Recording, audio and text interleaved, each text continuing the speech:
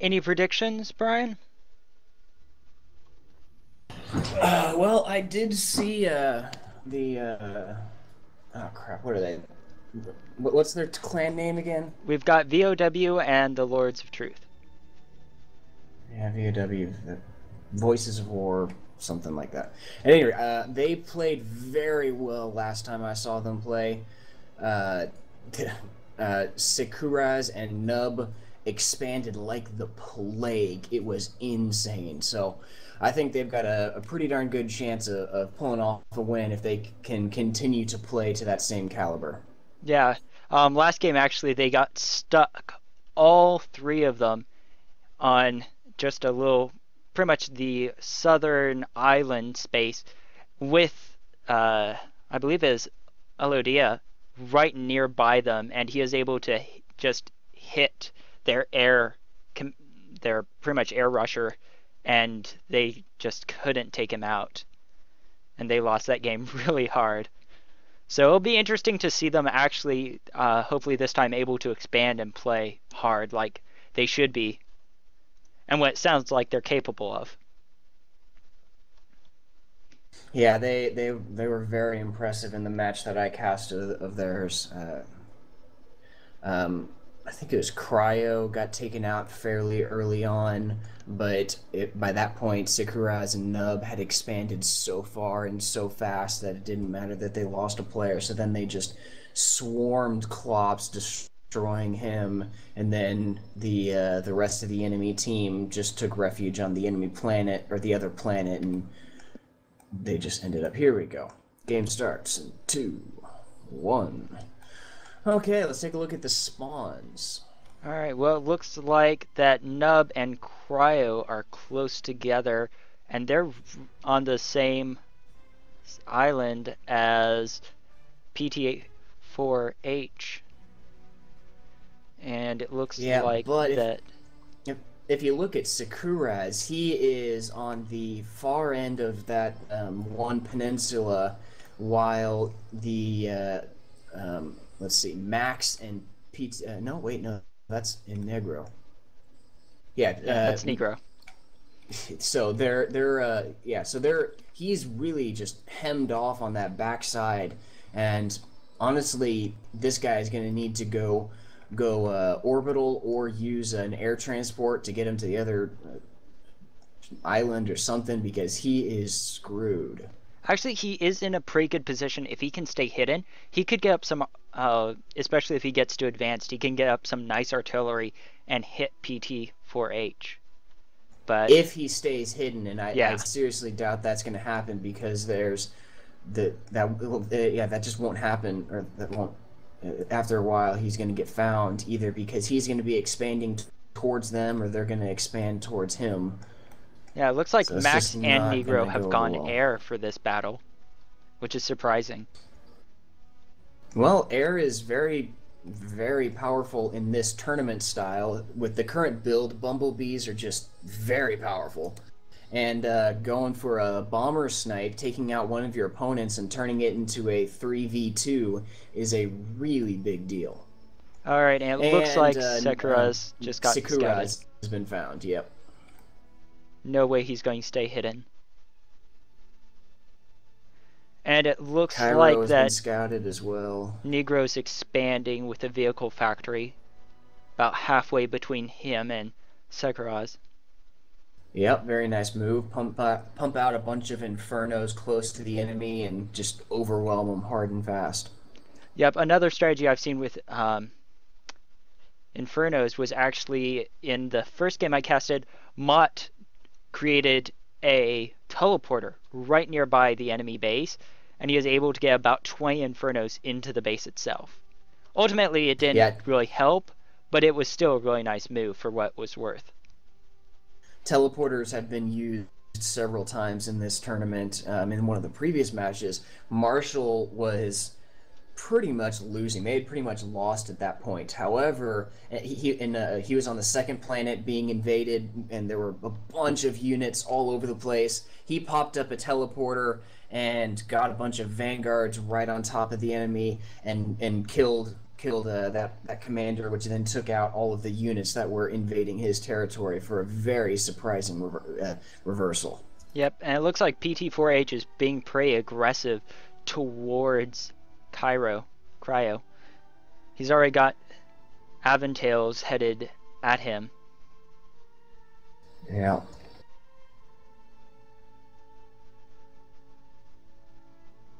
But he does have a very nice choke point in between uh, that mountain and those those lava lakes. He could put up a few defen- laser defense towers with some walls, and then shut down His units coming that way.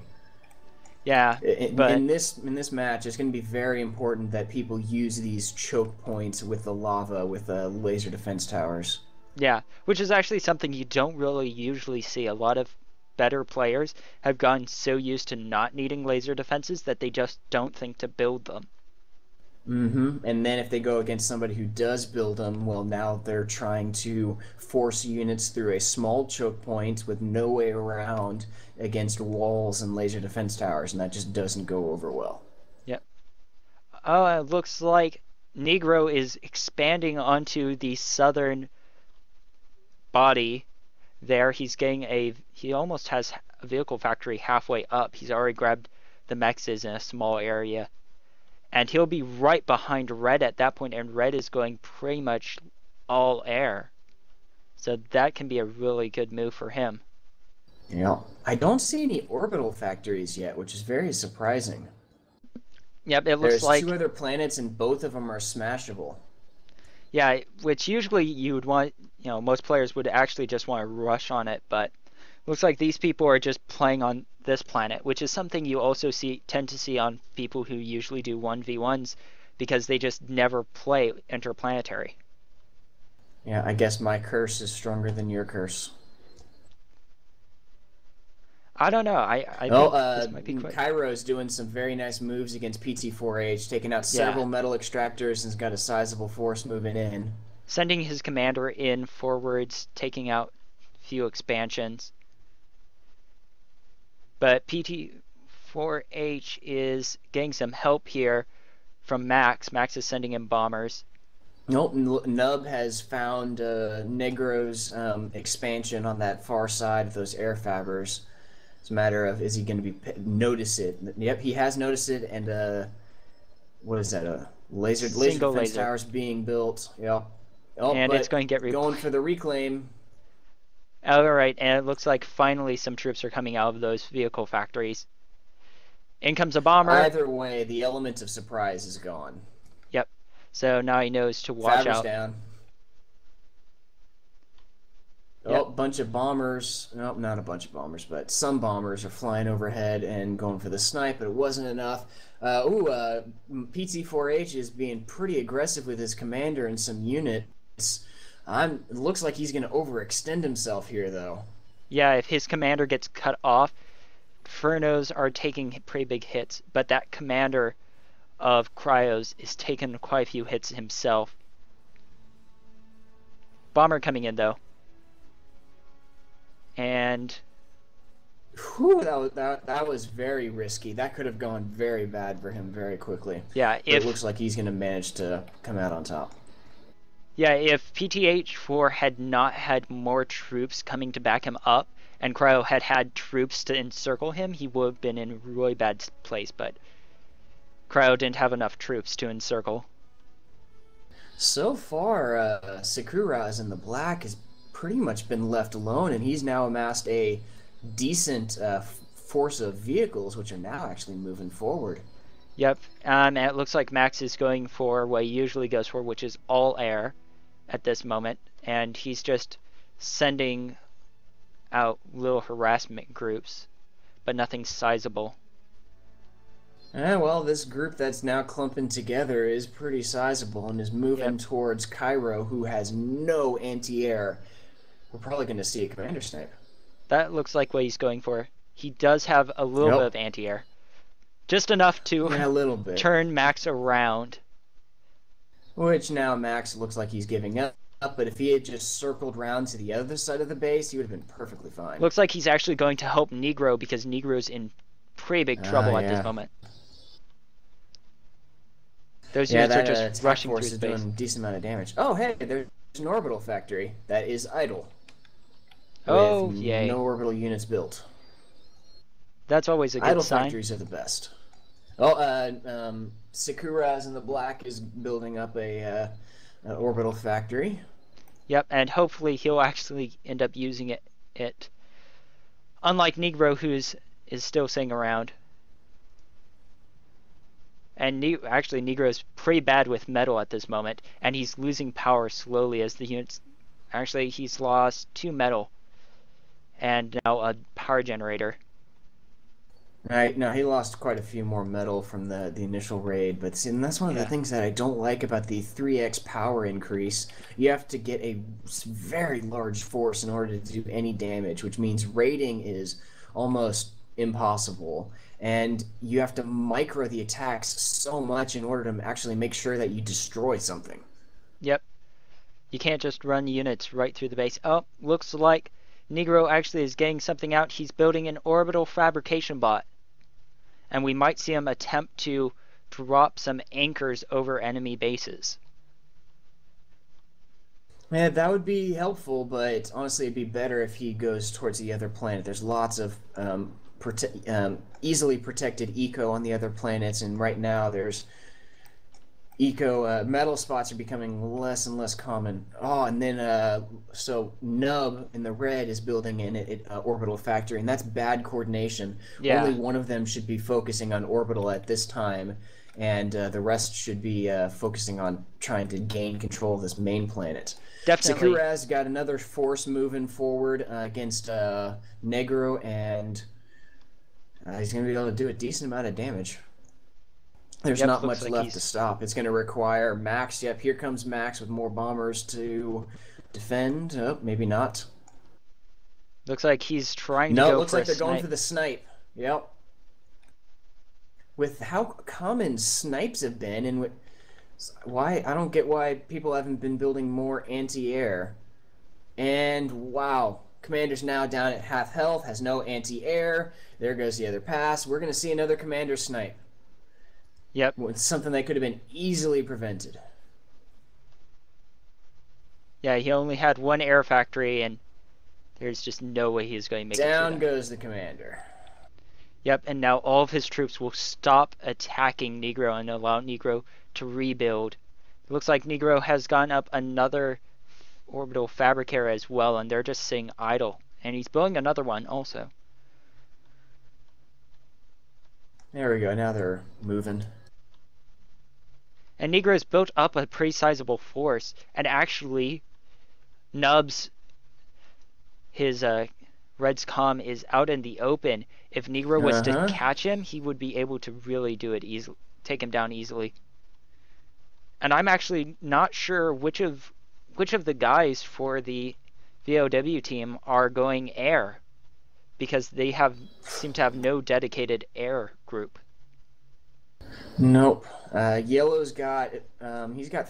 Okay, so he has three air factories, but they don't seem to be producing much.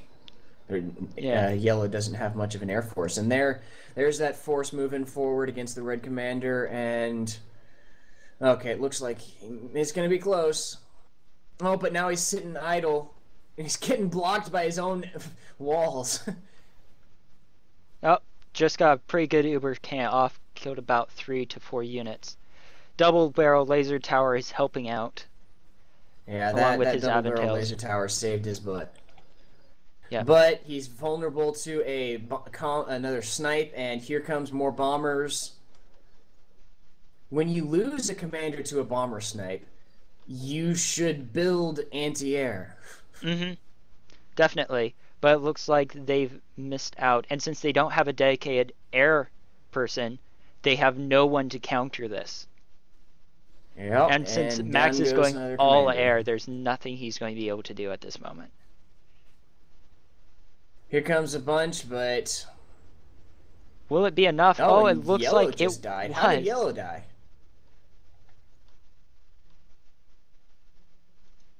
Let me backtrack it. Oh yeah, yellow. I'm looking on the chronocam. Yellow just got overwhelmed by a bunch of uh, infernos and left it. He left his commander on the front lines, didn't run away, and he just stood there while he got destroyed. Oh, I think he is sending units over to help Red at that moment. He was busy trying to send his troops off. Oh, Red is off. He has just escaped the Oh, planet. jeez. I just saw that. That was that was so stinking close. His he almost got destroyed as his base is slowly getting wrecked around him. He's sending all of his troops through to the other planet.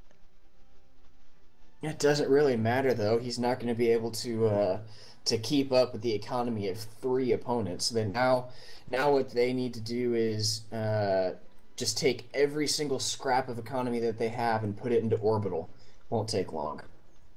Yep, either In orbital or getting some nukes out or both.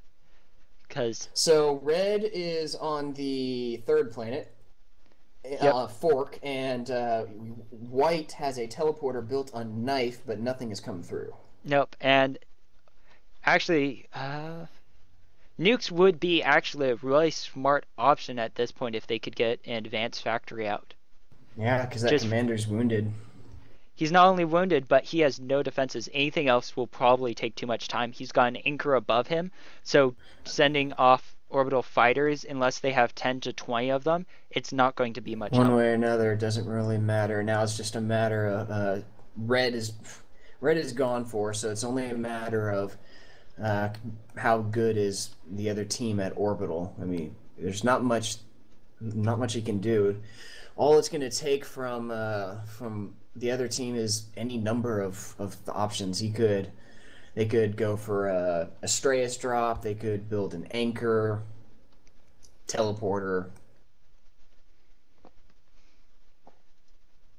large force from uh, PT4H moving in on Nub's base. Yep.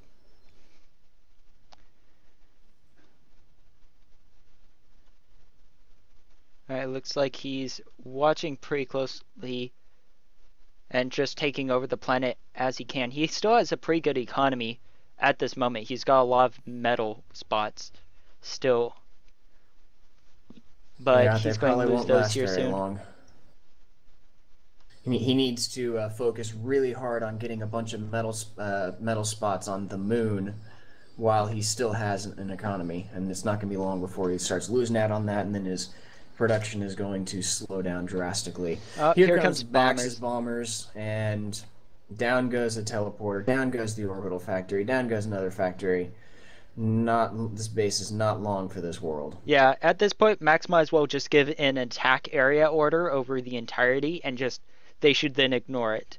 There's no more. Well, okay, there are some factories over, but near the sort of the west side Yeah. of that, but they're not building anything at this moment, and they've been found.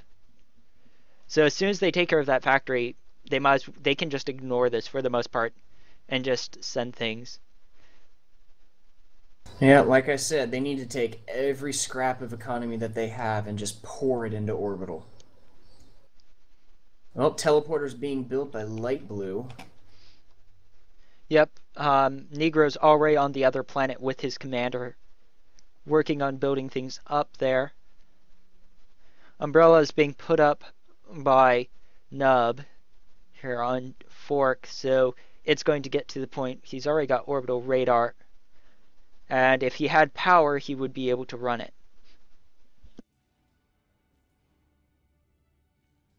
Uh, um, Nub just built a teleporter on Knife, and um, Negro is finally working on actually doing stuff over on Knife. Nothing's come through the teleporter yet, though. Yep, and it looks like he's building an anchor also. He's going to try to grab both of these, sending troops through some anti-air. But uh, Nub does have a basic radar satellite over the um, the the fork, and a teleporter has been queued up on on uh, fork as well. And uh, uh, Nub only has fighters. I don't see any bombers. So this teleporter is probably going to get built. Yep. We're heading over to the main planet, see where there's a teleporter or something. Okay, there's a teleporter. There's not a bunch of units by the teleporter, though.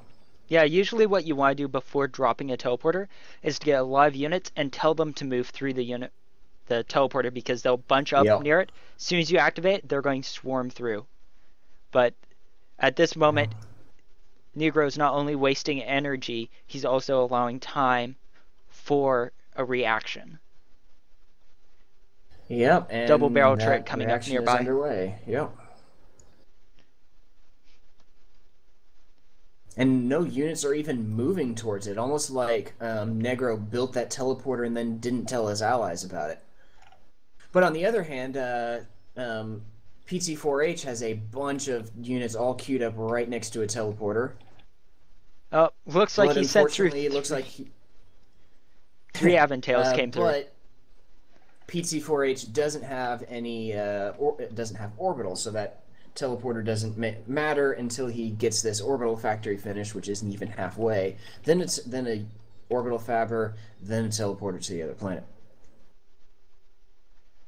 All right, so at this moment, Nub is moving th- more units through. He's got a anchor above his teleporter on knife, so he's actually in a pretty good place right here.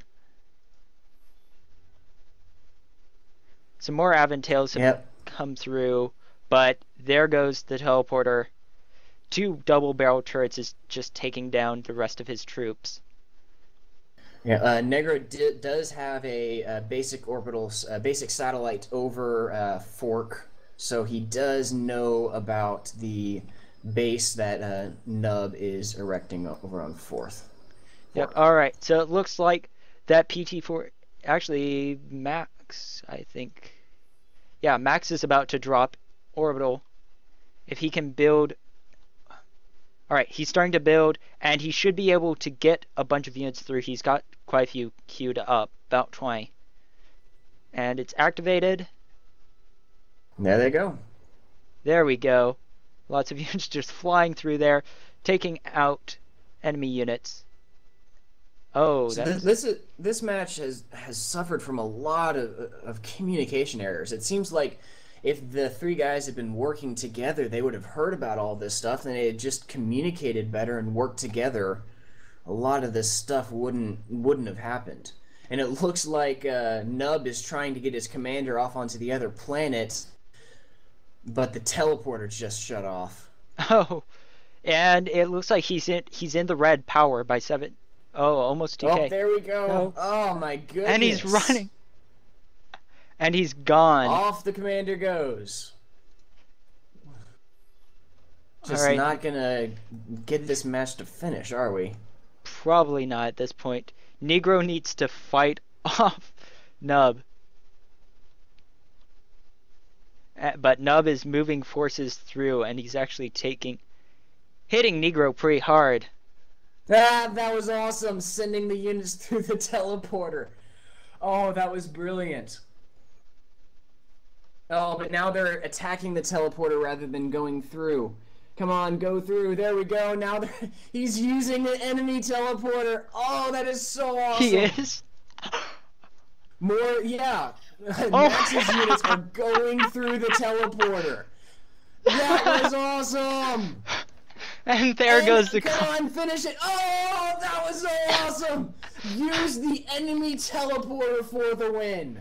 And that is Oh, that was great.